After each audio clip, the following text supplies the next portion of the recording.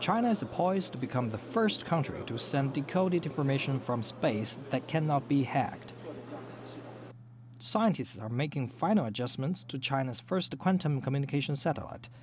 The project chief describes it as a revolution in communications. Quantum encoded communications can be absolutely secure. Even the most powerful computer cannot crack it. Therefore, it is revolutionary. The process is relatively simple. We just need to send a series of photons, tiny particles of light, from the satellite to the ground, and then decode them. A quantum photon cannot be separated or duplicated, which means if someone tried to decode the information, the encryption would change and the receiver would know that his letter was opened by someone. Scientists hope the new technology will protect China from future cyber issues in 2015, cases involving information technology in China rose by more than 120%, according to a survey by non-profit cybersecurity institution.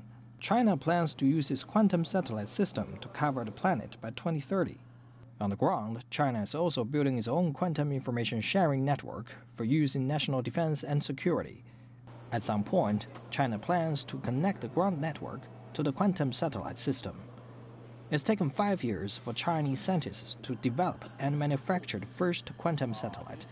In June, it will be transported to the Jiuquan Satellite Launch Center in China for the final preparation and launch in July. Su Xiaoxiao, CCTV. If you like what you just saw, follow us on social media and visit our website, cctv-america.com.